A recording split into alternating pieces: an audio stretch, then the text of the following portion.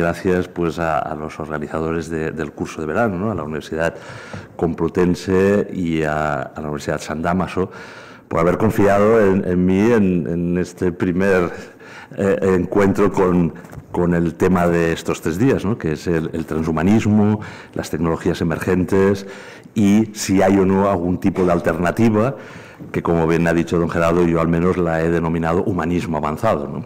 Para no estar siempre, de alguna manera, eh, abordando el transhumanismo desde su óptica, sino también si podemos dar una visión alternativa a la visión transhumanista. Voy a intentar estructurar mi, sesión, a ver si me da tiempo, con estos seis puntos, un poco ambicioso, pero dado que, queríamos en esta primera eh, sesión eh, que ustedes tengan un conocimiento, si no profundo, si amplio de lo que se van a tratar durante las tres sesiones, pues bueno, yo eh, he estructurado eh, esta introducción eh, empezando por si realmente estamos en un cambio de era ¿no? y, cómo se va a tener que abordar esas nuevas tecnologías exponenciales en relación con el ser humano, con la humanidad, cuál es el futuro que nos espera, y, esa idea de innovación y globalización tecnológica, cómo nos está ya afectando, es un futuro que está presente, ¿no? ¿Qué es el transhumanismo y qué es el poshumanismo? Claro, lo tenemos que definir ya desde el principio, ¿no? Y cómo esa evolución biotecnológica del ser humano que pretende este movimiento, esta ideología, ¿no? Pues eh, tener al menos las claves básicas para entender de qué se trata. Mm, abordar eh, los dos aspectos que el transhumanismo se detiene más, en la singularidad tecnológica y el mejoramiento humano, ¿no? en esta sociedad que estamos ya construyendo biotecnológica. Todo esto yo lo enmarco en el ámbito social porque creo que tiene mucho que ver, ya que es una ideología, con el poder, y por lo tanto vamos a analizar en el punto 5 esa idea del poder y el control sobre la vida, ¿eh? si es así o no. Después lo podemos debatir tanto con ustedes como esta tarde. Y finalmente, mm, dar las, las, ideas claves de este humanismo avanzado, que lo que pretende es eh, profundizar en la persona, en su condición humana, y en elaborar algunos principios éticos, algunas mm, mm, normas morales ¿no? para afrontar esa sociedad biotecnológica. Bien, empezamos. Efectivamente, yo creo que a nadie se le escapa que eh, estamos, buenos días, don César, en, un cambio de eras. ¿no? Y, esto que parece que está ya en los medios de comunicación, yo creo que nos da pie de nuevo a abordar, bueno, y que en este cambio de era, qué, qué papel va a tener el ser humano, ¿no? ¿Qué es la persona? De nuevo, nos vamos a hacer unas preguntas muy interesantes que mañana y pasado mañana se van a abordar, repito, con, una profundidad eh, excelente. ¿Qué, es el ser humano? Y si a través de estos anuncios casi mesiánicos, decíamos también con don Gerardo el otro día, ¿no? del transhumanismo, si vamos a, a seguir siendo humanos. ¿no? o si es ciencia ficción. Después don César pues, eh, nos apuntará lo que realmente de científico y de real eh, se propone en algunas de estas tecnologías emergentes y lo que no, y hemos de pensar que una ideología a veces tiene esa función también de marketing, si me permite, ¿no? que a lo mejor no es científicamente posible lo que está proponiendo, pero sí que de alguna manera nos está haciendo cambiar nuestra cultura, nuestros ideales y nuestros valores. Por lo tanto, también hay que tener en cuenta incluso aquellas cosas que en este momento nos puedan parecer ciencia ficción. Vamos a tener que abordar esto porque también queremos mm, entender este fenómeno en nuestro hábitat, en el planeta, en el medio ambiente, en la biosfera. Eh, por tanto, nos preguntaremos a lo largo de la sesión si hay límites en este cambio del ser humano, si hay límites éticos, si hay líneas rojas, pero también si hay límites para traspasar eh, en este entorno nuestro, que es el, hábitat en, el planeta, en la biosfera. Nos preguntaremos seguramente con más profundidad esta tarde en, la mesa redonda, bueno, pues eh, hacia dónde va esa evolución ¿no? y, qué es lo que, qué papel tenemos los seres humanos eh, en esa conducción de la evolución y en, ese, mm, y en esa vida que se va generando, vida inteligente, ¿no? en, el, en el planeta, ¿no? y que además mm, parece que estemos en una fase que algunos han denominado el antropoceno, en la cual parece ser que por primera vez el ser humano, el conjunto de la humanidad, tiene un papel muy relevante ¿no? con nuestras actividades, con nuestra eh, manera de, vivir, nuestro modelo social y económico. Estamos ya incidiendo de una forma importante en esa vida, en ese entorno, en el hábitat, y ahora se nos propone incidir en la naturaleza humana, en, la propia condición del ser humano, ahí, en lo más profundo de, nuestro ser. Este cambio de era muchas veces yo lo, quiero explicar en estas seis revoluciones. Su, aquí, en la derecha, tenemos tres revoluciones que tienen que ver con, los aspectos más tecnológicos. Estamos en una revolución digital y esto los medios de comunicación, los debates, los foros eh, constantemente nos lo están recordando. Estamos en la transformación digital, estamos en la era de la eh, inteligencia artificial, etcétera. Estamos también iniciando una revolución biológica y yo creo que esta, la sociedad, los ciudadanos somos menos conscientes, son más conscientes aquellos que están trabajando en centros de investigación, están eh, entendiendo cuáles son realmente los cambios eh, en, la, biología, en la genética que se pueden producir en los próximos años, en las próximas décadas en el ser humano y estamos también en una revolución espacial, que aunque tampoco nos atañe mucho en nuestro día a día, algunas de las cosas que plantea el transhumanismo no las está planteando para nosotros. Algunas de las modificaciones en el ser humano las está planteando para algún tipo de humano que eh, trascienda del planeta Tierra, ¿no? y que pueda soportar algunas de las condiciones que no son propiamente del planeta Tierra ¿no? Eh, en el universo cercano, tal vez. en paralelo a estas revoluciones que tienen más que ver con las tecnologías, constatamos que también hay otras tres revoluciones emergentes muy importantes. ¿no? La revolución ecológica, la sostenibilidad, las personas, los ciudadanos estamos muy preocupados por la naturaleza, por el medio ambiente, por, todo lo que tiene que ver con ese contacto directo con la ecología, ¿no? el Papa Francisco en Laudato Si, ¿no? con la ecología integral, esa conversión ecológica. También hay una revolución humanista, de la cual estamos hoy en este, en este curso pues muy interesados. Vamos a ver hacia dónde va ese humanismo en el siglo XXI, cuáles son las claves para seguir llamando a, esa corriente humanista y no transhumanista o posthumanista, que en definitiva sería aquella que prescinde ya del ser humano para de alguna manera eh, intentar preocupar eh, o estar centrando sus preocupaciones en otro ser transhumano, posthumano, o sea, ya casi ya el humano no le interesa, ¿no? Bien. Y finalmente una revolución espiritual.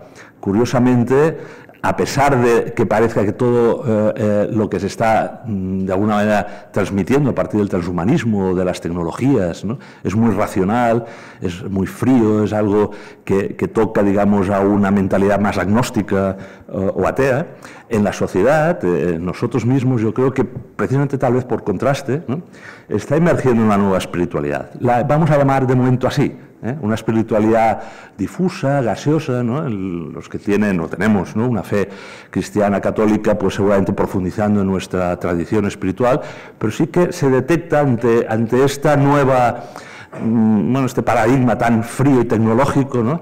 tal vez una necesidad de sentido, de encontrar de nuevo eso que comentamos antes, ¿qué hago yo aquí? ¿Qué, ¿Cuál es mi, mi propósito? ¿Qué es el ser humano? ¿Hay un Dios? ¿Hay un Dios creador? ¿no? O sea que eh, yo creo que es una gran oportunidad precisamente para entender esa nueva eh, visión espiritual. Cuando voy a detenerme brevemente en cada una de estas seis revoluciones. La revolución digital básicamente eh, está relacionando lo que podemos denominar inteligencia humana e inteligencia artificial. Una de las preguntas que nos vamos a hacer es si en esa revolución digital eh, vamos a humanizar a los robots, ¿no? esos robots que todavía no tenemos aquí, ¿no? pero que poco a poco, el otro día asistí en la Fundación Telefónica a la presentación de un libro, y por primera vez quien presentó el libro era un robot, Pepper. Entonces, bueno, dijeron que era el, eh, un récord Guinness, porque eh, a lo largo de esa sesión, pues eh, quien presentó el libro y que estaba programado para contestar unas preguntas, etcétera, ya era un robot. Por lo tanto, estamos empezando un fenómeno de humanización de los robots. empezamos a denominar a esos robots persona electrónica, empezamos a ver cómo esos robots autónomos inteligentes pueden ser objeto de derechos, y ahí tenemos la resolución del Parlamento Europeo, ¿no? muy reciente, de 2017, en la cual empieza a denominar ya a esa persona electrónica mm, como una persona objeto que tiene unas capacidades, ¿no? unas capacidades de adquirir autonomía y posiblemente decisiones humanas, de autoaprendizaje, en un soporte físico, en unos robots ¿no? que serán autónomos, ¿no? que adaptarán su comportamiento y entonces en esa interacción entre humanos y robots inteligentes tendremos que empezar a establecer responsabilidades, etc. Lo voy a dejar aquí, no, no, me voy a entretener, tal vez después, eh, si tengo tiempo, podemos avanzar, pero para que vean ustedes que esto va en serio, ¿no? O sea, es el Parlamento Europeo el que ya se está empezando a preocupar por estas cuestiones. Y es que tenemos a personajes como este, ¿no? Sofía.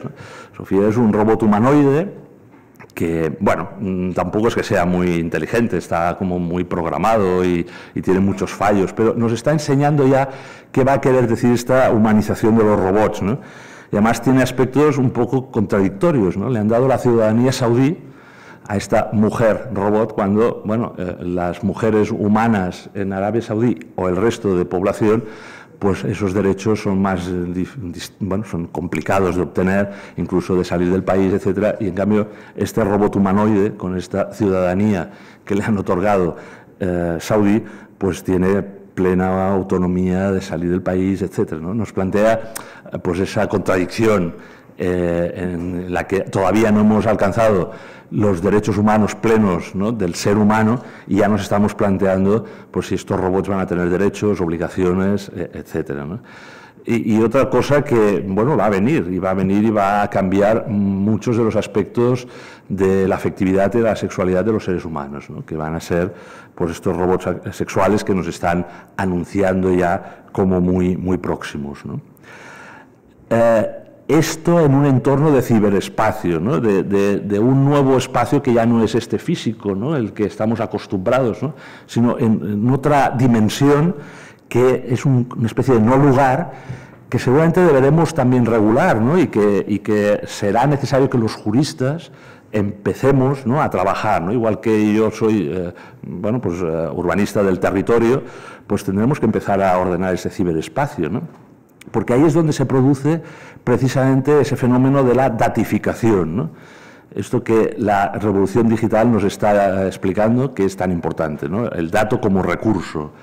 Hay una cosa seria que es la ciencia de datos, la que nos está de alguna manera también a partir del big data, de la eh, inteligencia, del Internet de las cosas, facilitando algunas de las investigaciones o nuestra vida corriente, ¿no? a partir de esa captación, análisis y, explotación de datos, pero hay otra cosa que no es tan científica, ¿no?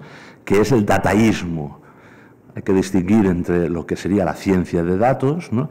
de esa devoción o adicción a, los datos, lo que algún autor eh, prácticamente, eh, como Harail, ¿no? está definiendo casi casi como una pseudo religión, ¿no? una tecno-religión. Nos están intentando explicar que vamos hacia un tecno-humanismo que engendrará en paralelo una data religión, una nueva eh, estructura religiosa, un nuevo deísmo que sería el dato, la inteligencia artificial. Entonces esto sí que tiene implicaciones a ver si es igual que con la ciencia, pues si esto tiene eh, visos de realidad y, el ser humano acabará convirtiéndose a la fe del dataísmo ¿no? o de la inteligencia artificial o no, o simplemente, pues bueno, eh, está explicado en algunos libros, etcétera. ¿no? Pero claro, da un poco de miedo, ¿no? porque realmente vemos cómo desde el manifiesto dataísta, ¿no? porque es un colectivo en el que, eh, bien, pues sí, eh, hay esa eh, conexión, ese intento de decir, bueno, vamos a conectarnos con lo que sería una, una superinteligencia por encima de nosotros que nos facilitará la vida, porque es la que obtiene de nosotros los datos y son los datos que nosotros necesitamos. Ahora lo más parecido que tenemos a eso y que es casi incipiente sería la nube, ¿no? o Google, al que casi ya parece que no podemos vivir sin ello. Bien, eh, el, segundo aspecto es más preocupante, es la robotización de los humanos. De alguna manera, hasta ahora, pues, bueno, nuestro esfuerzo, nuestras capacidades físicas nos llevan a determinadas eh, capacidades eh, pues, físicas, corporales, pero desde algunos grupos, como en este caso los biohackers o grinders, ya se está empezando a plantear a nivel no científico, sino bueno, experimental en los garajes, esa biología de garaje que han denominado, ¿no? el por qué no modificar y diseñar al ser humano mm, ampliando capacidades y nuevas funciones, introduciéndose eh, en, sí mismo, en su mente, en su cuerpo, estos artilugios, estos eh, elementos tecnológicos para ampliar capacidades. Bien, eso ha sido brevemente una explicación sobre esa revolución digital, pero abordamos esa segunda revolución del cambio de era, ¿no? la biológica, el rediseño de los seres humanos. No me voy a entretener demasiado porque vamos a tener una charla magnífica después, una conferencia del, doctor Nombela, pero estamos ya empezando a abrir ese, campo. ¿no? Si, recuerdan ustedes, en China pues, eh, eh, se nos notificó que se había experimentado con dos gemelas ¿no? para eh, intentar evitar la transmisión, el contagio y transmisión en esa generación y las siguientes, ¿no? ese es el cambio, no en ese individuo, sino en las generaciones siguientes del SIDA, ¿no? a través de la, de la técnica CRISPR-Cas9. ¿no? Pero también se nos plantean eh, algunos aspectos que parecen utópicos hoy en día, seguramente son utópicos, pero, pero que están ahí, que están empezando a plantearse algunos. ¿no? Es decir, ¿puede la maternidad realizarse fuera del ser humano, de la mujer en este caso? ¿Podemos, ¿Podremos hacer gestación sin madre? ¿no? Y digo que empezamos a, explorar ese camino porque al menos en animales ya hay algunos experimentos de útero artificial.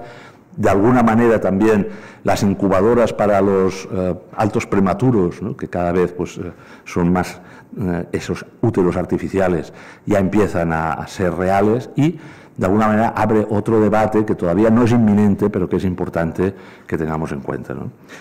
Y en esas tres revoluciones que comentaba al principio, la revolución espacial, ¿no? salir del confinamiento de la Tierra y plantearse como algunos pues llegar a colonizar el espacio inmediato.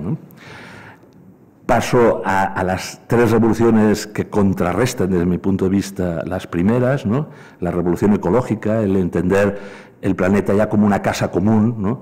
como, como, esa familia humana ¿no? que Laudato Si plantea el Papa Francisco, la casa común, la familia humana, esa revolución humanista de entender al ser humano desde sus, todas sus dimensiones y no de una forma reduccionista como vamos a ver ahora que plantea el transhumanismo, entender la integridad, el desarrollo integral del ser humano, hay muchísimas encíclicas, eh, sobre todo de Benedicto XVI, las últimas sobre ese desarrollo de la persona integral, es muy importante profundizar en ello porque, repito, el transhumanismo lo que hace es fragmentar esas eh, dimensiones del ser humano y, como he dicho anteriormente, una revolución espiritual. ¿no? Yo creo hay una acción del espíritu, un entendimiento cada vez más profundo del Dios amor, ese Dios que nos puede unir a distintas cosmovisiones, religiones, etc.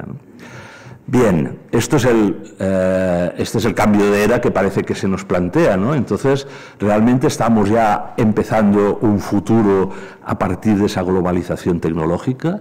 ¿Qué valores y qué principios están detrás?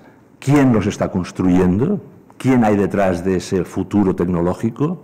Vamos a ser capaces de hacer un humanismo personalista para el siglo XXI. Parece que eso es lo que queremos todos, ¿no? pero eh, eh, después veremos que no todos quieren profundizar en un humanismo y quieren saltar a otra cosa, ¿no? a un transhumanismo.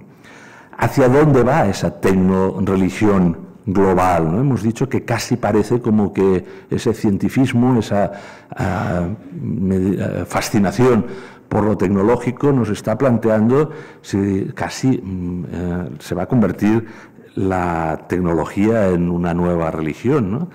En esa vieja tentación del seréis como dioses, porque algunos de, de los planteamientos del transhumanismo es eso, ¿no? O sea, vais a poder, vais a, poder romper todos esos límites, incluso en lo que es la vida, la vida en la línea germinal, vais a mm, hibridaros con una inteligencia superior, ¿no? Seréis como dioses, ¿no? El famoso Homo Deus de Jarael, ¿no? Que nos ha planteado en su libro, ¿no? Porque de alguna manera eh, sí que es cierto, ¿no? Parece como que el Homo sapiens está ante una disyuntiva de evolucionar o hacia ese Homo Deus, ¿no? a ese humano mejorado, a ese humano aumentado en capacidades desde la tecnología, a veces se ha denominado un humano potenciado, un humano expandido, o bien quedarse así, el resto de los humanos que no quieran o no puedan hibridarse con esa tecnología, ¿no? como un humano que despectivamente el transhumanismo denomina natural, discapacitado, eh, obsoleto, un humano descartado, también en palabras del Papa Francisco. Tendremos mm, grandes eh, disyuntivas, tendremos que elegir nuestra libertad va a tener que escoger distintos caminos hacia dónde queremos ir en estas tecnologías emergentes con responsabilidad, ¿no? porque la primera imagen superior, eh, efectivamente, mm, pues, pues, claro que sí, ¿no? Alguien que ha tenido una discapacidad, un accidente, ¿por qué no? Esas tecnologías, ese atleta biónico, mm, no va a ser posible que, digamos, moralmente que eso es mm, acertado y, lo impulsemos, ¿no? Pero la imagen de la película Ex Machine, ¿no? que es la, inferior, ¿no? en la que ese ser hibridado tecnológico, ese robot autónomo toma el control, ahí eso es lo que queremos que sea la evolución de la tecnología emergente. Un poco lo mismo con el medio ambiente, ¿no? Una cosa es esa hibridación, renaturalización de la ciudad, ¿no? Eh, entre lo artificial y natural, la otra es sustituir la naturaleza por, un ambiente, una biosfera totalmente tecnificada y artificial, y que en muchas ciudades ya lo empezamos a ver. Una cosa es trabajar y colaborar con robots autónomos, que eso lo vamos a ver muy pronto, y la otra es hibridarnos, como en la película uh, Transcendence, Que, lo que le pasa a este señor es que se hibrida, como veis con esos electrodos aquí en el, cerebro, con esa red, con la, con la red. ¿no? Con Internet. Claro, ustedes ya, a lo mejor en este momento de la sesión ya se han planteado una posición y dirán, bueno, eh, esto yo soy escéptico, no me lo creo, no lo veremos, está muy lejos, ciencia ficción, ¿no? ¿Para qué pensar ahora en estas cosas cuando hay problemas en la humanidad mucho más importantes que resolver desde el humano, ¿no? La pobreza, el cambio climático, etcétera, ¿no? La democracia. Mm, otros pensarán, hombre, esto me parece que sí, que está viniendo, habrá, habrá que regularlo, habrá que prohibirlo, habrá que poner unas barreras impresionantes, habrá que hacer una moratoria incluso, ¿no? O sea, detengamos eh, estas innovaciones, ¿no? Hasta que tengamos claro qué principios, qué ética vamos a aplicar, ¿no? Qué ética de la anticipación, ¿no? Algunos de ustedes tal vez digan, no, no, a ver, si esto llega, pues como en otras revoluciones, eh, vamos a aprovechar lo mejor de, lo que venga, ¿no? y estas eh, revoluciones que hemos antes denominado van a ser buenas para la humanidad, el progreso siempre es positivo, es lineal hacia adelante, por lo tanto, vamos a, a ver lo que viene y nos vamos a subir al tsunami, ¿no? a la ola, y a ver qué pasa, vamos a surfear. ¿no? Pero es que, claro, el transhumanismo se sitúa en, ese tecnoentusiasmo que dice, no, no solo vamos a aprovechar la ola, ¿no?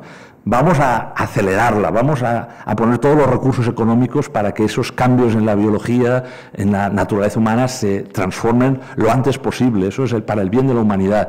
Hay un entusiasmo, un tecnoentusiasmo en los transhumanistas que, les lleva, pues eso, ¿no? casi como he dicho, a un mesianismo, a una fe en ese progreso tecnológico. ¿no? Y es que, claro, la convergencia de tecnologías exponenciales, como hemos denominado antes, ¿no? la, la nanotecnología, la biotecnología, las ciencias cognitivas, de la información, la cuántica, próximamente pues estará hablando mucho del, ordenador cuántico, etcétera. Esa convergencia, esa transversalidad, pues está dando unos cambios acelerados, disruptivos, en, los cuales parece como que hay un determinismo tecnológico, parece como que esto no lo para nadie, no lo podemos parar. Y algunos dicen, es que no debemos pararlo. ¿no? Eh, e, es lo que parece que se constituye como el nuevo orden mundial, como, como este, esta globalización tecnológica en la que estamos como un poco despistados, ¿no? vamos como buscando luces hacia dónde, hacia dónde nos lleva este puzzle. ¿no? Eh, estamos instalados en la complejidad, vamos entendiendo que eh, efectivamente el ser humano tendrá que abordar todos estos desafíos no de una forma simple, ¿no? la, realidad es compleja, es fractal, ¿no? cambia muy rápidamente, hay metamorfosis muy rápidas, aquello que ya parecía que era la innovación última, pues mañana ya es, ya, ya es otra. ¿no? Y entonces nos cuesta muchísimo en ese cambio acelerado pararnos a pensar, a desarrollar esa ética, esos valores que queremos que acompañen a ese desarrollo humanista, ¿no? en el cual, como, como, sabemos, pues desde los clásicos hasta ahora, eh, se ha centrado en el ser humano, en, en, la dignidad, en la libertad, en profundizar en los valores humanos, cuando ahora se nos está planteando cambiar de especie, ¿no? cambiar de, de ser humano a transhumano o posthumano. ¿no? Claro, justo cuando eh, en, el, siglo pasado, sobre todo, esos valores del humanismo eh, se, determinan en unos derechos humanos que no han sido todavía universales, pero que ahí están, ya nos están planteando otra cosa, ¿no? Ya nos están planteando para el siglo XXI una nueva utopía, una nueva utopía que va a tener eh, relevancia respecto a esos valores universales del ser humano. El transhumanismo como ideología o como movimiento, o un movimiento de liberación, nos plantea precisamente eso, la liberación de la condición natural del ser humano, de la biología. Vamos a escaparnos de las leyes de la naturaleza, de la biología, vamos con esas tecnologías a, diseñar, como hemos dicho anteriormente, al ser humano. Claro, esta ideología no sale así sola, ¿no? Sea, tiene como, es el corolario prácticamente de toda una trayectoria desde la modernidad, la eh, posmodernidad, lo que ahora algunos autores denominan la hipermodernidad, en la cual, si me permiten, hay como un elemento clave, que es el deseo. yo quiero, yo quiero esa autonomía y quiero, eh, ahora en este momento, diseñarme como yo quiera. Esa idea individual de ¿y por qué no? ¿Y por qué no? Hay también como un desencanto humanista, ¿no? hay como un, se percibe como una desconfianza en lo humano. Y precisamente por ahí salen esas nuevas utopías mm, posthumanas. ¿no? Hay como la esperanza en, la, en, las máquinas más que en el ser humano.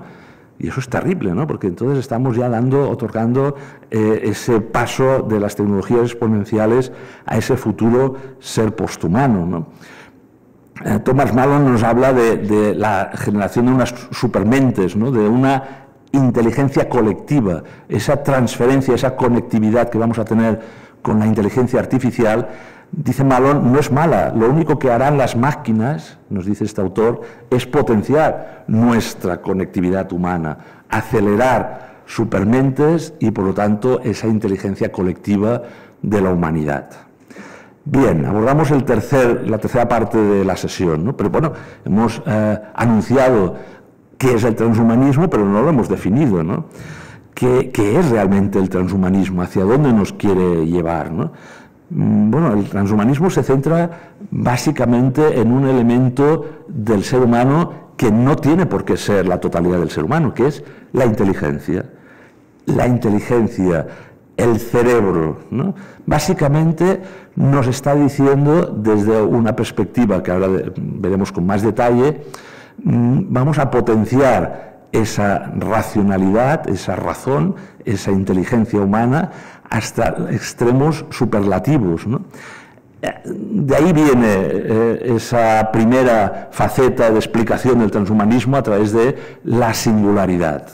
La singularidad es un término que de alguna manera pues, eh, empieza a desarrollar este ingeniero futurista, ingeniero jefe de Google, Ray Kurzweil, que nos dice eh, en, un libro ya clásico, ¿no? tiene varios, de lectura obligada para los tecnólogos y gente de Silicon Valley, etcétera, ¿no? que es la, singularidad se acerca, ¿no? ese, ese, momento en el que los humanos trascenderemos la biología a través de esa hibridación con inteligencia artificial, dice Kurzweil, está cerca. ¿no? Y claro, no lo dice este señor como alguien eh, aislado, ¿no? lo dice como fundador o uno de los directores de un hub tecnológico que no es una universidad, aunque se denomine la Singularity University, que está en el campus de la NASA, Por lo tanto, antes hemos comentado lo de eh, esa visión también de la revolución espacial, ¿no? en la cual están pues, grandes corporaciones, ¿no? preparando a líderes para ese futuro transhumanista. Bien, el segundo aspecto, el primero hemos dicho que era la singularidad tecnológica para esa visión transhumanista, el segundo es el mejoramiento humano. ¿no? Hay que, si queremos ganar esa, esa batalla frente a la inteligencia artificial, debemos, debemos mejorarnos. Una de las definiciones del transhumanismo es el deber moral de alguna manera mejorarnos biotecnológicamente o hibridándonos con esa superinteligencia nuestra, nuestro cuerpo, nuestra mente, para de alguna manera evitar aquello que la condición humana nos hace mm, ser humanos, ¿no? la vulnerabilidad, la enfermedad, el sufrimiento, la muerte. De alguna manera, en esta visión del mejoramiento humano que nos plantea el transhumanismo, eh, nos, lo presenta en dos aspectos. ¿no? Usted podrá mejorarse, deberá, deberá mejorarse, transformando esa especie a través de la integración, como hemos dicho, con la máquina, ¿no? lo, que sería el cibor. ¿no? Pero la otra es la modificación de nuestros genes en línea germinal para que nos lleve a la transformación de otra especie. Esto en el congreso que tuvimos en comillas, ¿no? se dijo, esa es la verdadera revolución que viene, si es posible. ¿no? Y el doctor Nombela nos va a decir hasta dónde esa revolución es científica o es ciencia ficción. Sería un hombre mejorado, ¿no? Hemos dicho antes, un hombre que, fruto de esa evolución, va dirigido a través de esas tecnologías hacia otra evolución artificial, ¿no? hacia un transhumanismo que defiende la plasticidad del ser humano, e, esa visión de autodiseñarse, ¿no? de tener un derecho ilimitado sobre nuestro propio cuerpo ese va a ser un debate social impresionante. Yo ya he tenido alguno con, bueno, con distintas visiones ideológicas, ¿no? Y claro, eh, algunas, sobre todo eh, defensoras de ese derecho sobre el propio cuerpo, se escandalizan hasta dónde se puede llegar o se podría llegar con esa eh, revolución biológica, ¿no? sobre todo en esos inicios de lo que hemos antes denominado el biohacking, ¿no? no solo con el mejoramiento humano, en, la vía mm, de genética, sino con todos esos artilugios, estos chips, estos eh, elementos que algunos desde el, eh, garaje, aquí, en, los, tatuadores, los que están poniendo tatuajes y piercings, están empezando a trabajar. Por tanto, no es un tema solo de los centros de investigación, sino que está, digamos, en el elemento alternativo también introduciéndose, ¿no? Estamos viendo esto, ¿no? estas cosas. ¿no? Y, por ejemplo, este, este chico de Barcelona, que lo conocí a raíz de una entrevista, pues ya se ha implantado un chip para mejorar sus funciones de conectividad, para el biopago, etcétera, ¿no? Pero algunos, desde por ejemplo la Fundación Cibor, están planteando ya no solo el transgénero, ¿no? No, no estamos hablando solo que el transhumanismo es una visión más allá del, de la ideología de género, ¿no? Sino están planteando la libertad morfológica, ese diseño, autodiseño, y la transespecie. ¿Por qué no puedo yo transformarme en un elfo? ¿Por qué no puedo yo, si me siento perro, hay, un, vídeo, ¿eh? ser perro? Eso es un concepto todavía muy minoritario, muy alternativo, pero que ya está empezándose a, a introducir. Si yo puedo hacer con mi cuerpo lo que quiera, si no hay ningún límite ético y moral, yo me puedo autodiseñar como quiera. Y además, ese mejoramiento humano va a venir pues seguramente de la parte más positiva ¿no? de la medicina, de la ciencia, en la que nanorobots pues, van a introducirse para eh, seguramente curar enfermedades, etc.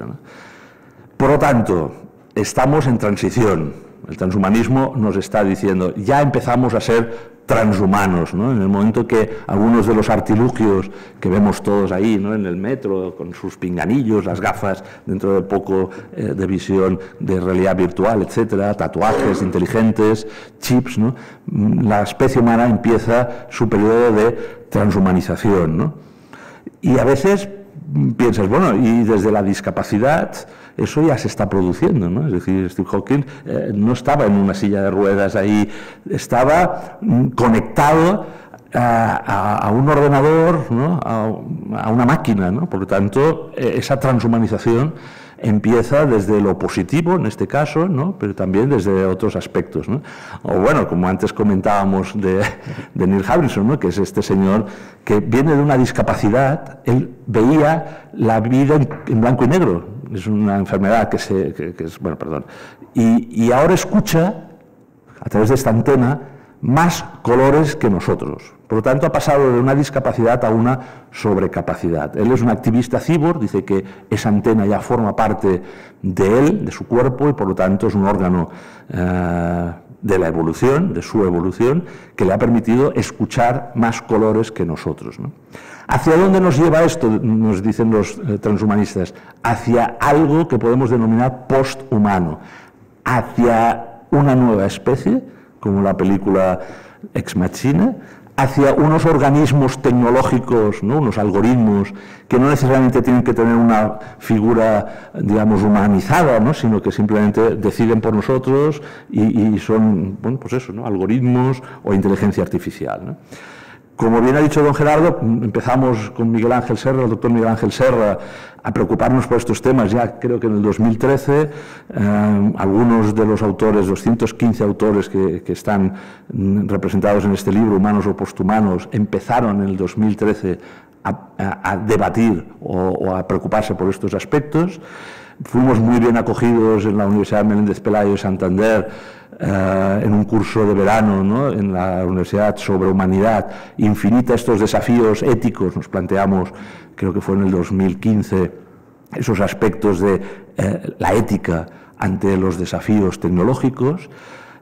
Al año siguiente nos planteamos el tema de la discapacidad, es un gran tema muy preocupante porque hay grandes esperanzas en esas tecnologías en las personas con discapacidad, ¿no? sensorial, física, intelectual. Entonces, ¿cuál es la ética de esas tecnologías? Porque sabemos que parte de esas tecnologías después se aplicarán a nosotros, ¿no? personas sanas. ¿no?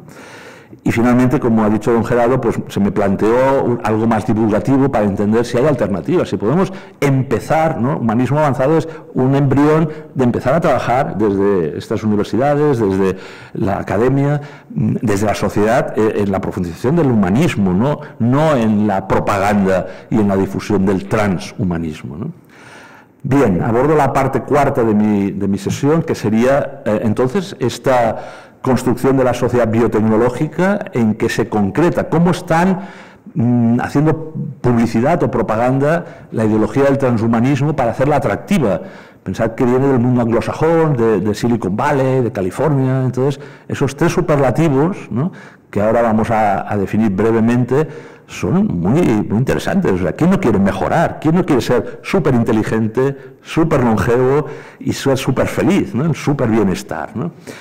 Bien, y ahí está el gancho, ¿no? Eh, el transhumanismo nos plantea que vamos hacia una superinteligencia, ya lo hemos dicho anteriormente, vamos a hibridar incluso nuestras neuronas con esas otras neuronas artificiales, esas redes de la inteligencia artificial, de momento tal vez no físicamente, ¿no? lo estamos haciendo casi vía, vía wifi, ¿no?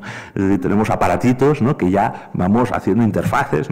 Eh, a ese otro cerebro que es la noosfera, si quieren, que se está construyendo, ¿no? que se está construyendo a partir de esa conexión de los superordenadores, que esto sí que es un tema real en el mundo. ¿no? Hay algunos estudios eh, magníficos, ¿no? cómo se está construyendo el cerebro mundial de momento a partir de esos esos superordenadores que cada vez son más pequeñitos, ¿no? ocupaban antes unas salas enormes, ¿no? y que fíjense ustedes las siglas eh, y los logos que tienen. ¿no? Es decir, básicamente China, Asia es la que está ganando esta partida. Estamos diciendo que en esa superinteligencia lo que se nos está ya eh, eh, presentando, por ejemplo en Japón, es esa interacción con los robots inteligentes, simpáticos, ¿no? que tienen afectividad, que ríen, que lloran. Cuando alguien nos pregunta, bueno, pero los robots podrán hacer, empiezan a decir, ¿serán creativos? Pues sí, ya pintan, eh, componen cantatas de Bach, ¿no? Eh, cuentan chistes, tienen sentido del humor, mm, son interactivos en los colegios, en Japón, en las recepciones de los hoteles. ¿no? Empiezan a interaccionar entre ellos, eso ya es un tema a veces como más que nos asusta, ¿no? ¿Qué, se dirán en su sintaxis nueva, ¿no? Y algunos, como en las películas de ciencia ficción, mm, se plantean si realmente van a tener conciencia, si van a ser conscientes de que son otra cosa, ¿no? Porque claro, lo que nos caracteriza como humanos es la autoconciencia. Pero ¿y si algún día emerge también una autoconciencia en esos seres inteligentes? Bueno, pues ese es un gran debate que no voy a entretenerme, pero que es muy interesante. Si eso es lo que nos constituye como humanos, ¿no? Eh, y esa nueva eh, cosa, especie, va a tener algún día también autoconciencia, bueno, pues tenemos un problema, ¿no? Cuando el Siri, este que tienen algunos, ¿no? Eh, pase a ser el HAL 9000 de 2001 Odisea en el espacio, ya nos podemos empezar a preocupar, ¿no? Porque eh, el, HAL 2000 sí que parecía que tenía una conciencia artificial autónoma, ¿no? O sea, cuando, cuando se plantea, y no lo voy a leer todo, ¿no? A HAL a la sonata, tengo miedo, tengo miedo, Dave, mm, se me va la mente, puedo sentirlo, ¿no? En ese diálogo en la película 2001 Odisea del espacio, HAL no tiene inteligencia artificial. Parece como que tenga conciencia, es consciente de que es otra cosa, ¿no? ¿Vale? Eso está muy lejos todavía, esa es la inteligencia fuerte, que todavía está lejos, pero es la que preocupa ya a algunos especialistas de la inteligencia artificial. Nick Bostrom, que inició su andadura como filósofo, está en, Boston, en un instituto, eh, se empieza a preocupar, ya incluso desde su visión transhumanista, por esa superinteligencia. ¿no? Tiene un libro magnífico que se titula así, Superinteligencia, en la que denomina ese fenómeno incluso un riesgo existencial para el ser humano, ¿no? junto con el cambio climático, una pandemia, etc. ¿no? Por lo tanto, hay que tomárselo en serio, claro, sobre todo los que se dedican a ello y que están trabajando en ello. Luc Ferry, desde una posición tal vez más tecnoprogresista, nos está diciendo, no os preocupéis, tiene un libro también magnífico, La Revolución transhumanistas, lo vamos a hacer bien, lo vamos a hacer bien. Jordi Pigem, que es un filósofo catalán, bioconservador, desde el ámbito de la ecología profunda, dice, no, no, es que no se le puede dar a esa revolución ni, así, porque nos ganará, no vamos a ganar la partida. Bien, todo esto es cierto, nos debe preocupar porque nuestros derechos humanos, ¿no? aquellos que en su momento supimos definir como derechos del ser humano, desde la condición humana, van a cambiar. Vamos a iniciar una nueva generación de derechos que algunos denominan digitales, que se están trabajando pues como una cuarta generación de esos derechos humanos, en los cuales bueno, habrá que proteger a la persona de la gestión de la tecnología nos plantearemos en esa cuarta generación de los derechos fundamentales el derecho a ser olvidados, el derecho a la identidad digital, a la imparcialidad de la red, etcétera, eh, lo están, y, a, mm, construir un nuevo contrato social, porque hasta ahora nuestro mundo, nuestro sistema eh, social, económico, incluso mm, filosófico, se ha formado a través de un contrato social entre el individuo, el Estado, hemos llegado a este estado del bienestar, un respeto a los derechos fundamentales, etcétera. Pero la revolución digital lo puede cambiar todo, Entonces algunos se plantean, mm, bueno, ¿qué habrá que hacer, Si, si se va a construir el nuevo contrato social a partir de la individualidad, como parece que viene del eh, ámbito más occidental, del nuestro, o desde la colectividad, como parece que viene del ámbito más eh, asiático, oriental, China sobre todo, ¿no? que lo importante no es el individuo, sino la colectividad. Mm, bueno, pues eh, universidades como la de Deusto, a través de una declaración de derechos humanos en entorno digital, o corporaciones como Telefónica o el Colegio de Abogados de Barcelona, ya, han empezado a trabajar en ello, ¿no? en esa especie de declaración de derechos humanos en entornos digitales. No, no, por supuesto no me voy a entretener, pero ya ven que la lista es larga. ¿no? Bien, segundo aspecto, hemos dicho, el transhumanismo se vende como algo optimista, la superinteligencia, pero es que claro, la, siguiente es la superlongevidad. Eh, eh, queremos superar, dicen ellos, estas edades a las cuales ya la medicina, la ciencia nos ha permitido llegar hoy, ¿no? 80, 85, 90, 100, bueno, pues este señor, ¿no? un gerontólogo transhumanista o de Grey, nos está diciendo, señores podemos y señoras, podemos llegar a, los 130, a los 200, a los 250. ¿Cómo así? Eh, reponiendo nuestra eh, condición natural, ¿no? O sea, la, dice Odile Grey, el envejecimiento es una enfermedad curable curable así, ¿no? con nanotecnología, con biología sintética, con nueva regeneración eh, artificial de las neuronas, ¿no? si tenemos un Alzheimer, etcétera, ¿no? Incluso, ¿por qué no? preservándonos y ya veremos qué pasa cuando la ciencia y la tecnología permitan hacer todo ello, ¿no? Y esto no es broma. Hay un proyecto que se llama 2045 en el que incluso líderes religiosos de relevancia, en este caso del budismo, ¿no? la Dalai Lama, han dado su soporte, porque está claro, ¿por qué no puede, dicen algunos, transferir lo que yo soy, mi conciencia, a un avatar? Y se lo plantean casi con fechas, ¿no? 2045 eh, después de entender lo que es el cerebro, después de reproducirlo artificialmente, vamos a ser capaces, dicen ellos, de transferir lo que somos en nuestro cuerpo biológico a algo distinto, ¿no? Pero algo holográfico incluso, ¿no? a la inmortalidad cibernética. Tercer superlativo, ¿no? superbienestar. Sufrimos en nuestra condición natural, envejecemos, tenemos dolor, tenemos vulnerabilidad, tenemos fragilidades. Queremos el bienestar, ansiamos la felicidad, el hombre está hecho para la felicidad. Eh, eh, queremos encontrar el sentido, la plenitud. Porque mm, no queremos la depresión, no queremos las adicciones. Que, bueno, pues que se están produciendo. Y viene otro filósofo transhumanista, en este caso Peace, y nos da la solución. De nuevo, una solución artificial, tecnológica, ¿no? Para eliminar, abolir, como dice él, el sufrimiento humano. ¿no? Y está la solución, dice él, aquí, en el biomejoramiento, ¿no?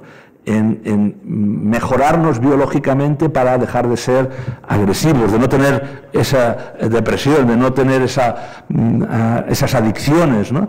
Lo que Sabulesco, también cuando vino a Madrid hace poco, denominaba el biomejoramiento no, no a través de la educación, no a través de la cultura, de la ética, de la moral, de la religión. No vamos a mejorar así. Es muy lento, nos dicen ellos. Hay que hacerlo rápido, con fármacos, con biotecnología, eh, haciendo niños a la carta. Pero claro, ahí el planteamiento es, bueno, ¿y qué quiere decir ser mejor? Eso va a ser un debate que después con, don César pues vamos a tener esta, esta tarde seguramente. Eh, ¿Qué quiere decir ser mejor? ¿no? Porque ser más alto, más bajo, ser más inteligente, ser un superdotado no nos hace mejores. ¿no? Desde la discapacidad, entonces, ¿qué? No? El cerebro de las personas con altas capacidades a veces no son felices. ¿no? Por lo tanto, ¿qué, ¿cómo debe interpretarse la palabra mejorar, mejor? ¿no? Porque en esa opción que nos plantean de niños a la carta, eh, bueno, tal vez se produzca algo muy preocupante para la humanidad, que es la pérdida de la diversidad de esa humanidad. Que esas tecnologías lo que hagan es homogeneizar al género humano. Por un lado, grandes desigualdades, los posthumanos se disparan, se aplican estas tecnologías y alcanzan la condición casi de posthumanos, y el resto, ese resto que hemos denominado casi obsoleto, se homogeniza, pierde su diversidad humana, se eliminan las diferencias, porque es lo que eh, está pasando con las tecnologías. Eh, los móviles los tiene ya todo el mundo, en África, en el metro, el mantero, la persona que está pidiendo delante de una iglesia, todos homogéneamente estamos conectados a través de un móvil. Claro, con todas estas otras tecnologías del control, también tal vez nos homogenicen, ¿no? porque esta globalización de alguna manera parece como que el procedimiento técnico es hacia la homogenización. Entonces vamos a banalizar al ser humano, vamos a banalizar la vida en esa globalización existencial. ¿Qué relación tiene la mejora y la bondad? Antes eh, don Gerardo nos hablaba de, la ética como algo para ser mejores, buenos en este caso, ¿no? la bondad. ¿no? la mejor y la bondad, una gran pregunta que ahora no voy a, desarrollar. El, ser humano va a continuar teniendo esa virtud de la bondad, es la esperanza que va a permitir que seamos responsables en esta nueva etapa biotecnológica, porque si el superbienestar a nivel eh, de condición humana nos lo han planteado de esta manera, ahora desde la economía nos plantean una era de superabundancia. ¿no? Esa economía en la que estamos entrando, esa nueva evolución del capitalismo, en la cual todo está conectado, el Internet de las cosas, el Internet de las personas, nuestro ADN, el sensor, el ordenador, el móvil, ¿no?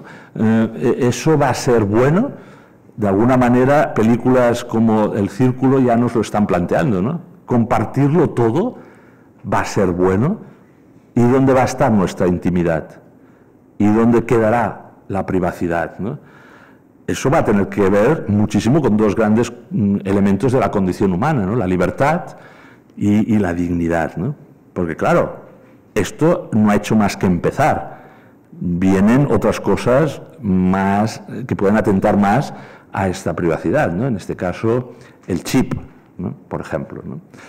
Vamos hacia un mundo feliz. Lo que nos está planteando el transhumanismo con ese super bienestar es lo que ya se planteaba en la novela de, Huxley sobre el mundo feliz, en el que estaríamos en una dictadura que no lo parecería, que sería perfecta porque la desearían sus esclavos, sus, los consumidores, los que estamos utilizando esa tecnología.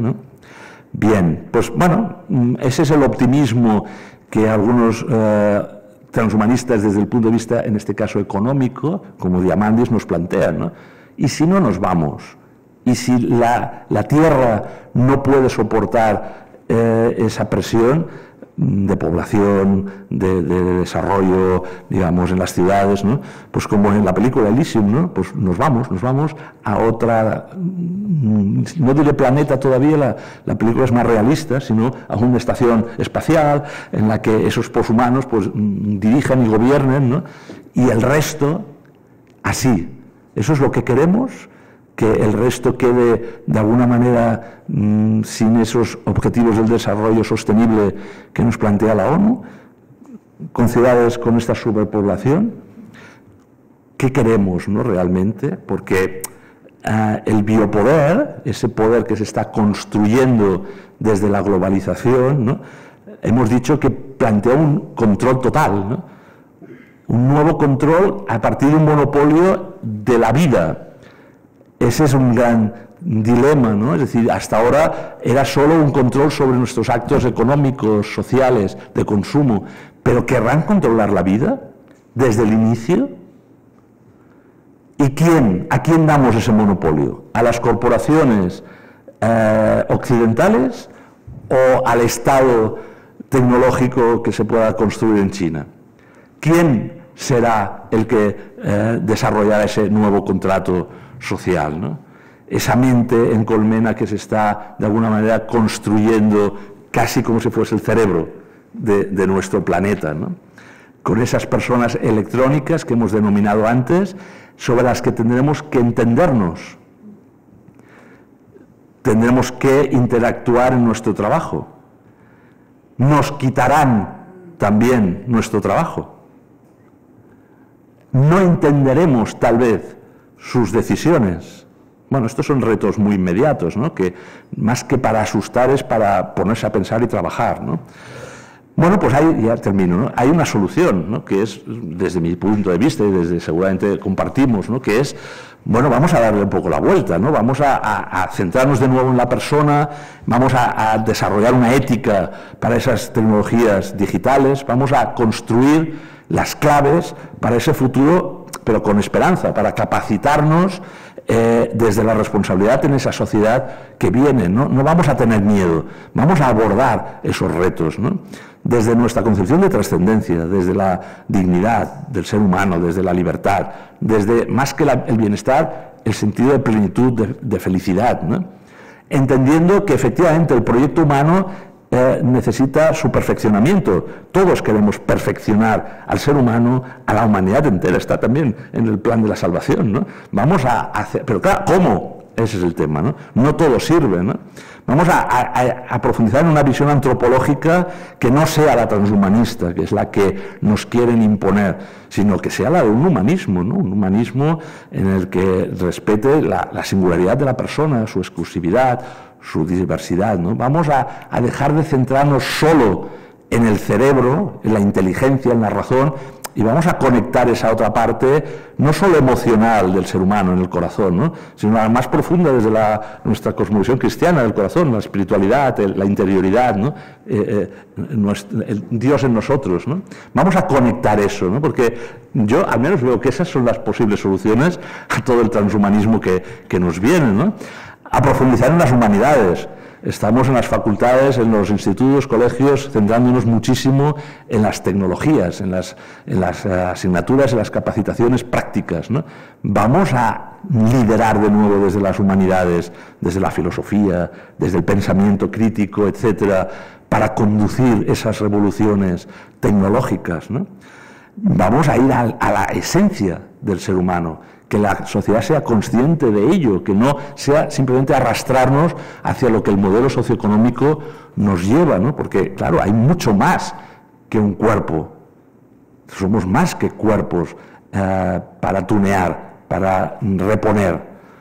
Tenemos una cultura, debemos desarrollar una cultura más del, ser y del sentir que de esa transformación que nos quieren eh, realizar. ¿no? Vamos a profundizar en esa cualidad humana, entender qué, es la, cualidad humana. ¿Y para qué? Pues para que esas tecnologías estén al servicio de las personas y no al revés. No es una frase, es para que las tecnologías estén al servicio de la persona, no para que las personas estemos a su servicio. Para cuando tengamos eh, que somos personas diversas, con diversas funciones, cuando tengamos de alguna manera en esa visión de excepcionalidad, de desarrollo integral del ser humano, diversidad funcional, yo soy diverso funcional, necesito eh, gafas, ¿no? pero es que mañana puedo pasar de una capacidad a una discapacidad, ¿no? a, una, a una necesidad de, eh, de, mm, bueno, de necesidad especial para esa situación. Puedo tener un accidente y efectivamente esas tecnologías me van a ayudar. ¿no? Puedo pasar de una capacidad común a una discapacidad puedo pasar y pasaré posiblemente si vivo de una capacidad autónoma a una discapacidad de dependencia, incluso de una dependencia extrema. Y ahí están las máquinas también, y ahí está la tecnología, en esas unidades de cuidados intensivos. ¿no?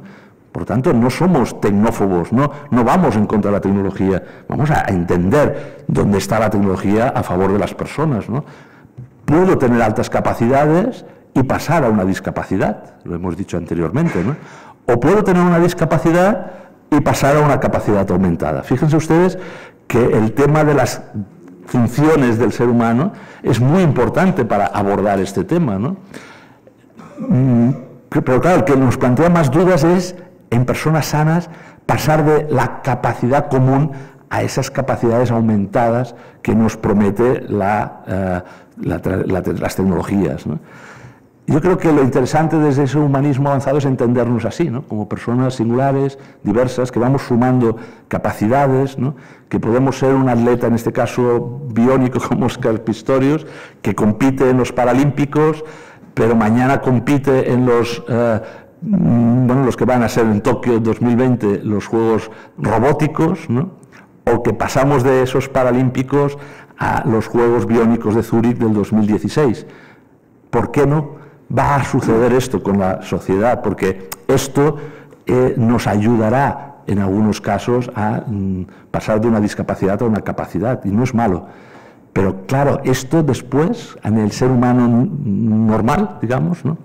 Bien, bueno, voy a pasar muy rápido esto, que son ejemplos que tenemos en el libro de singular, de singulares, ¿no? Preguntarnos de forma sincera si simplemente esto va a servir para las discapacidades o, como he dicho anteriormente, va a aumentar las capacidades de las personas sanas para convertirles en superhombres, bien, y termino desde una visión más integral del ser humano, que yo creo que eh, Laudato sí, la, idea del Papa Francisco con la conversión ecológica, uniéndola al desarrollo humano integral, es la clave. Yo creo que es una, eh, encíclica que no solo habla de ecología, está confrontándola al paradigma tecnocrático. Nos está hablando de una integración de lo psicológico, de lo cognitivo, de la custodia de la creación, de, todo el entorno, bien, de, que este es nuestro planeta, hemos dicho, nuestra casa común, ¿no? Y por lo tanto el Papa Francisco nos, nos está de alguna manera dando claves a nivel de, cristiano ¿no? de cómo podemos abordar esto desde las distintas incluso visiones, eh, cosmovisiones religiosas. ¿no? Él lo plantea no solo desde la cosmovisión católica, sino desde una fraternidad del ser humano. ¿no? Si cuidas el planeta, combates la pobreza. También desde la ONU sabéis que se desarrollan los 17 objetivos de sostenibilidad y las distintas religiones están trabajando en ello, ¿no? recientemente, en el 2019. ¿no? Por lo tanto, yo creo que desarrollar integralmente al ser humano y conectarlo de nuevo a la naturaleza, a un ritmo más lento, a, disfrutar de ella, a disfrutarla plenamente, a, imitarla, incluso con estos artilugios, ¿no? pues puede ser muy, muy, muy interesante. Termino, perdonad que... Vamos a necesitar, por tanto, una ética común para desarrollar los principios básicos. ¿Desde qué cosmovisión? Porque tenemos en el mundo distintas cosmovisiones, ateos, agnósticos, budistas, humanistas, relativistas, budistas. ¿no? ¿Cómo construimos puentes entre todas estas cosmovisiones para hablar del ser humano y de su transformación tecnológica? ¿no? Para hacernos más, más humanos, ¿no? Para desarrollar esa inteligencia espiritual que hemos dicho que tenemos, que, de alguna manera, en este caso, el jesuita Terlán de Chardin nos decía, somos seres espirituales, no, no somos seres humanos, somos seres espirituales, y que incluso Einstein nos, nos, explica en un texto que reproduzco al final de mi libro, eh, Humanismo Avanzado.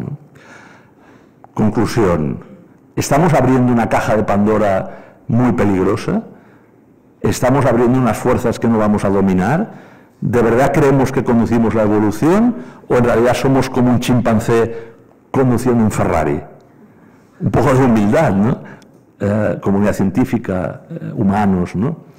Vamos a necesitar ese humanismo avanzado, seguramente, para desarrollar el derecho a la felicidad, para no tener miedo ante estos retos y para tener mucha esperanza. Gracias.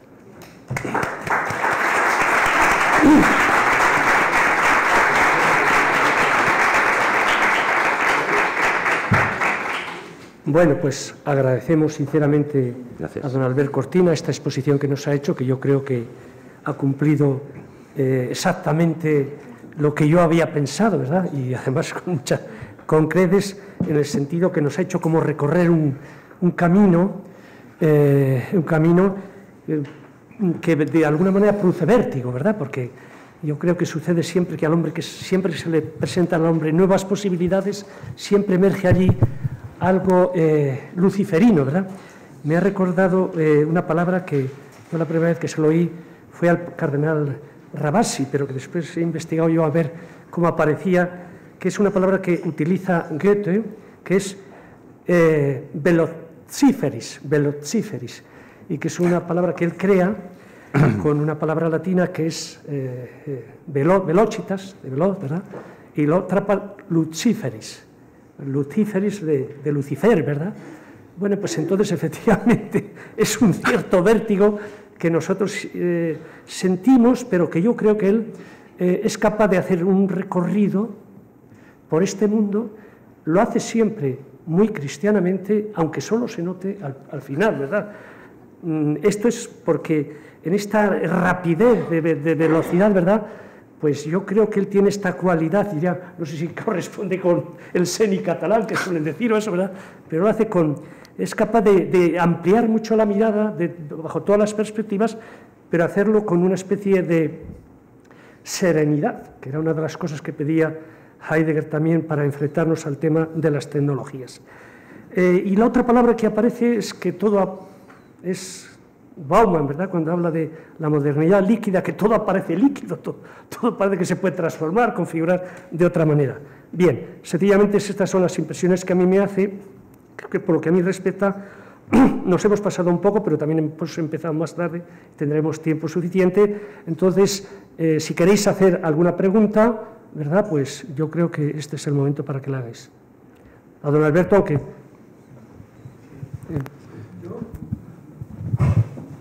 Tantos temas, abarca tantos temas que es impresionante, pero me da mucho miedo como ingeniero y trabajando en robótica que estamos creando sensación de que estamos haciendo cosas muy superiores a lo que estamos. Estamos muy lejos de muchas cosas de esas. Entonces hay que ser realistas y no meter demasiado miedo a la gente de la calle, que, que Hollywood lo hace porque lo tiene que hacer, porque así vende películas, eso es normal.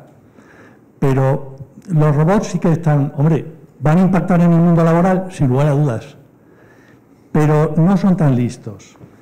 Eh, el problema es, lo que llamamos inteligencia artificial no es tanta inteligencia muchas veces, porque estamos confundiendo, y es un tema que no se ha hablado, y es muy importante desde el punto de vista de la inteligencia artificial, correlación con causación.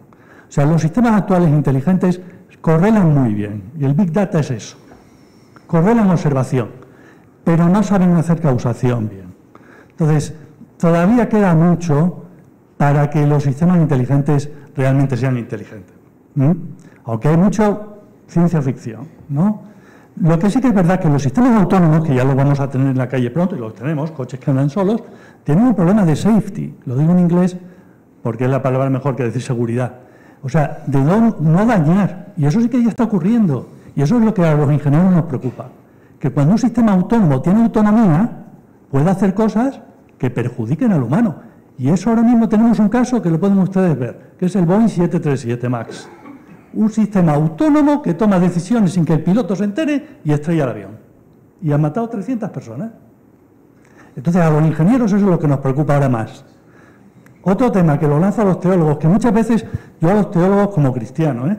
no les entiendo porque empiezan a divagar yo creo que aquí el problema principal es si el hombre tiene una dimensión espiritual o no. Si el hombre es solo material, lo vamos a imitar los ingenieros. Tardaremos más o menos, pero lo acabamos imitando. Pero si el hombre tiene una dimensión espiritual, que yo lo creo así, y había gente en ciencia que lo creía, ¿eh? Ecles y gente así, si el hombre tiene una dimensión espiritual, no lo vamos a poder eh, imitar. Entonces yo creo que el reto que tiene ahora la teología es demostrar esa dimensión espiritual, cómo se puede estudiar, no solo desde el punto de vista de la revelación, sino también desde el punto de vista de la ciencia. Hay gente que lo está haciendo, sobre todo en el mundo anglosajón, como siempre, que van por delante en todo. O sea, hay gente en el mundo anglosajón que habla de, del hombre espiritual o del cerebro y de la dimensión espiritual. Y eso creo que es ahora un gran reto, porque si el hombre es solo material y la mente es una propiedad emergente del cerebro, lo vamos a poder imitar. No veo por qué no. Le agradezco el, haber, vamos, el, abanico de cosas tremendo que habéis, vamos, el gran conocimiento de, cantidad de... Gracias. Sí, Ramón López de Mantras, que lo debe conocer usted, siempre cuando coincidimos en, en, las charlas y tal, efectivamente, dice, bueno, estamos en una inteligencia artificial específica, débil, la fuerte, pero claro, cuando avanza en su discurso nos preocupa la autonomía de las armas, ¿no? esas armas autónomas. O sea, ya no son los coches, es que tenemos armas en estos momentos, los misiles apuntando hacia países de una forma prácticamente eh, autónoma y esa no es una inteligencia artificial fuerte, simplemente es específica. Los algoritmos en el sistema financiero fíjese usted las cosas importantes que nos están condicionando hoy la vida sin la película de ciencia ficción con un robot humanoide Sofía inteligente, los algoritmos en el sistema financiero. Eh, los, elementos de transporte, la responsabilidad, es decir, los puestos de trabajo o las eh, tareas que van a ser automatizables una a una, o creativas. Eso es lo que preocupa en este momento, no efectivamente la ciencia ficción de la realidad, pero ya es mucho, ¿eh? es muchísimo. Entonces, no es para preocuparse ni dar miedo, es para mm, poner un código ético, para poner unas normas jurídicas, para entender hacia qué modelo de democracia vamos a ir, ¿no? Si, la constituye simplemente las decisiones de humanos o vamos a estar condicionados por decisiones de esos algoritmos. Eh, hay muchos temas, no para tener miedo, pero sí para preocuparse, ¿no? Sin llegar a la inteligencia fuerte, imagínese usted. ¿Alguna pregunta más?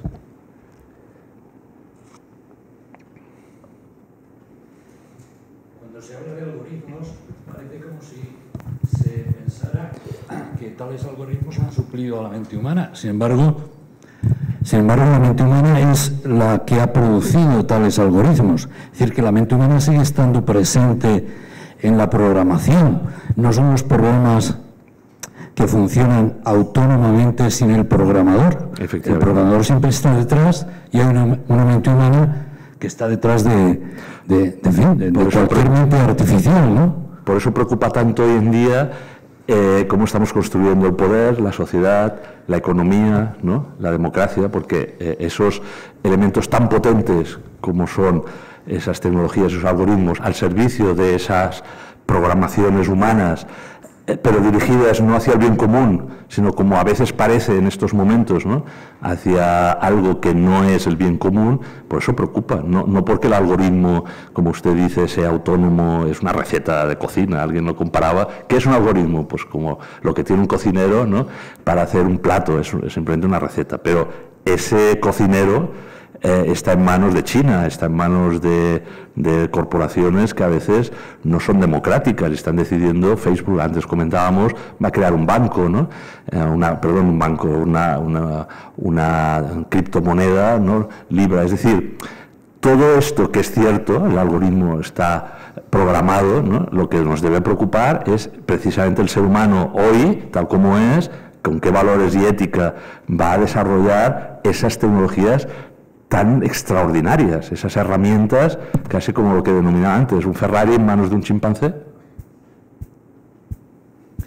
Mm, pero no dejan de ser herramientas que utiliza el ser humano, que maneja que ahora sí, hasta pero... punto puede que tales herramientas acaben supliendo al, al ser humano que las ha ideado, que Ahí están los expertos en inteligencia artificial que nos lo van a poder decir. Si dentro de unas décadas eso que autoaprende, eso que ya no programamos, sino que lo estamos eh, programando como un niño pequeño de tres años para que algún día sea un adolescente, se emancipe y tome sus decisiones autónomas, sea aquí medio siglo, sea dentro de un siglo, bueno, eso es lo que creo que algunos están preocupando, ¿no? En esa inteligencia artificial fuerte que hoy está poniéndose las bases, igual que la ponemos en un niño pequeño, para que después esa autonomía la desarrolle de una manera positiva o no tan positiva, esos valores los estamos, los vamos a tener que introducir ahora, que nosotros dominamos esa programación, que estamos los humanos detrás. Pero estamos creando algo, creo, ¿eh? para que se desarrolle autónomamente. Y si me equivoco, por favor, que las personas que están más eh, en esa rama de la tecnología lo bueno, corroboren o no si el deseo es que tomen decisiones autónomas al margen del ser humano. ¿no? Algún día llegará. Entonces, ¿qué habremos inculcado, por decirlo de alguna ¿Cómo habremos educado a esos robots autónomos que ahora sí todavía programamos con un niño pequeño? No sé, es una reflexión o una comparación tal vez muy eh, cotidiana, pero a mí me sirve. ¿Alguna pregunta más? Después de un vuelo tan rápido, ¿verdad? Hay que reposar un poco para ver incluso las preguntas que emergen.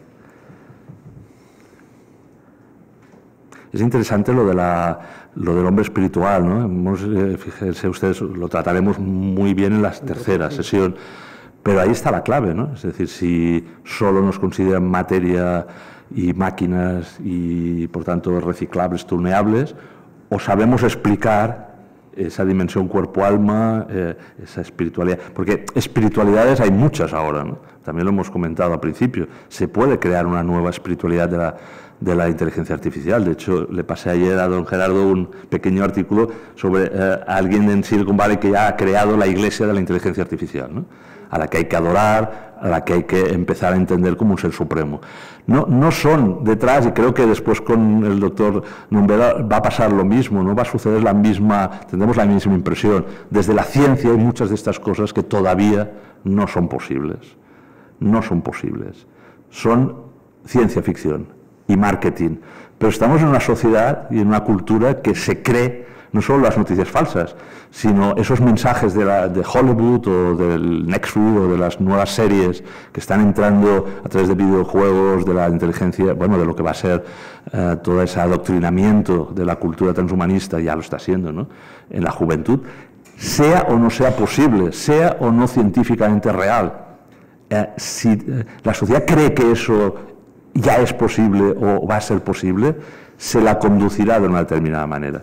Y creo que en el tema de la espiritualidad se está empezando a considerar que efectivamente la eh, espiritualidad emerge simplemente de la mente. Hay algunos eh, que están intentando descubrir cómo reproducir experiencias místicas o espirituales, eh, de una forma, digamos, conociendo el cerebro y las funciones, una explicación racional, no sobrenatural. Bueno, pues eso es un gran debate para después, mañana, ¿no? Pasado. Eh, otra pregunta.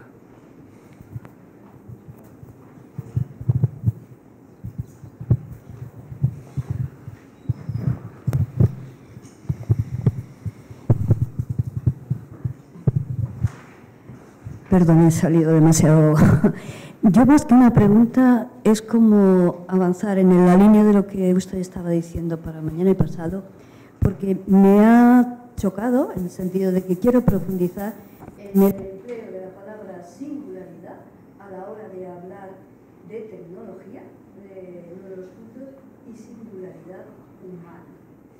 Creo que ahí es muy, muy radical las diferencias, que es quién pues usted ha dado la clave, y algunos escritos lo, he planteado. ¿no? La singularidad tecnológica la plantean esos tecnólogos que nos ven solo como materia, y la singularidad humana la, planteamos desde un punto de vista humanista, entendiendo que casi han roto el molde. ¿no? Es decir, si entendemos como seres creados, ¿no? que, somos específicos, únicos, bueno, pues somos así, cuerpo, alma, y, esa explicación de la singularidad, de la exclusividad, de la maravilla que es eh, el ser humano como creación, la vamos a tener que saber explicar muy bien.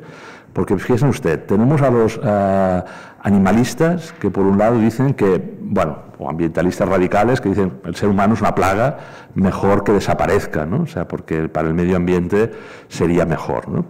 O los veganos, etcétera, que nos dicen, bueno, es que estamos consumiendo demasiado fuera. Por un lado, el ser humano parece que molesta a la línea en la cual nos quiere igualar con el resto de, seres vivos. Y ahora viene una nueva, ¿no? que es, bueno, y los robots van a ser mejores y más inteligentes, dicen algunos, que, nosotros. ¿no? Entonces, ¿dónde queda la singularidad humana? En el planeta y en el universo. ¿no? También hay esa línea de decir, bueno, y si, nosotros ahora descubrimos nuevos, nuevas vidas inteligentes en otros planetas, ¿dónde vamos a quedar? ¿no? ¿Dónde queda el relato de nuestro, ¿no? de la creación, de, de la singularidad del ser humano en el universo, en el plan divino, ¿dónde queda? No? Va a haber grandes preguntas, ¿eh? que los teólogos tenéis mucho trabajo. ¿eh? Bien, eh, la última pregunta ya, y si quedan alguna pregunta más, pues esta tarde en, en la mesa redonda se las podrán hacer.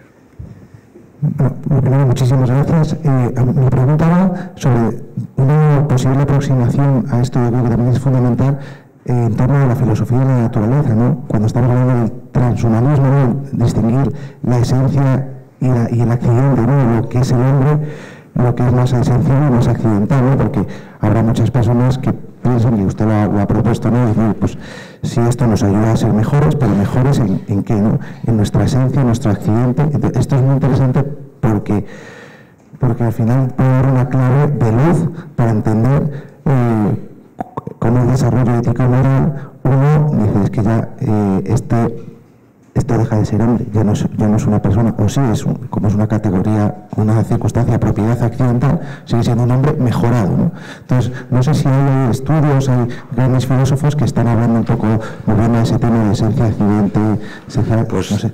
Pues aquí tenéis una, una, gran filósofa bioética que es Elena Postigo. ¿no? Eh, yo he aprendido muchísimo de, de la profesora Postigo porque eh, eh ese es su tema, entender lo que es la esencia ontológica del ser humano, de la naturaleza humana, ella está profundizando desde hace muchísimos años, por lo tanto yo aconsejo muchísimo que vayáis a sus escritos, a su, está aquí en Francisco de Vitoria, ¿no? en la universidad, porque es, yo creo, de las especialistas españolas, ¿no? Tenemos grandes filósofas, ¿eh? Adela Cortina, Victoria Camps no está metiéndose demasiado en estos temas, Adela Cortina ha empezado hace muy poquito, pero Elena Postigo lleva bastantes años eh, eh, haciéndose esas preguntas. Y, últimamente, que hemos coincidido en algún debate, haciéndose una pregunta esencial que casi también la traspasaré al debate de la tarde, que es las fronteras entre terapia y mejora. Eh, ella misma, que participa en, comités bioéticos, está empezando como a, mutar. Antes estaba muy claro lo que era mejora de lo que era terapia, lo que hemos dicho antes, que, tecnologías se aplican para la terapia y la mejora. Pero en las últimas sesiones, y lo hablo con ella, ese dilema se está empezando a, poner en crisis, ¿no? que es mejorar y que eh, los médicos o los científicos están trabajando en terapias. ¿no? Y entonces ahí es donde ella dice, bueno, hay que profundizar de nuevo en, los elementos esenciales del ser humano. ¿no? Lo que pasa es que yo le hago una crítica y se la hago a ella y por tanto la transmito. ¿no? Todo esto son desde la perspectiva occidental, desde un humanismo eh, europeo, ¿no? pero es que lo que nos viene no nos viene de ahí, nos va a venir de China, y entonces, ¿cómo vamos a dialogar ¿no? en esas cosmovisiones que decíamos? ¿no? ¿Cuál es su visión del ser humano, los que van a imponer esa globalización y ese nuevo transhumanismo eh, con una visión más comunitarista que personalista? Mm, y ahí, no sé, vamos a ver. Bien, muchas gracias. A vosotros.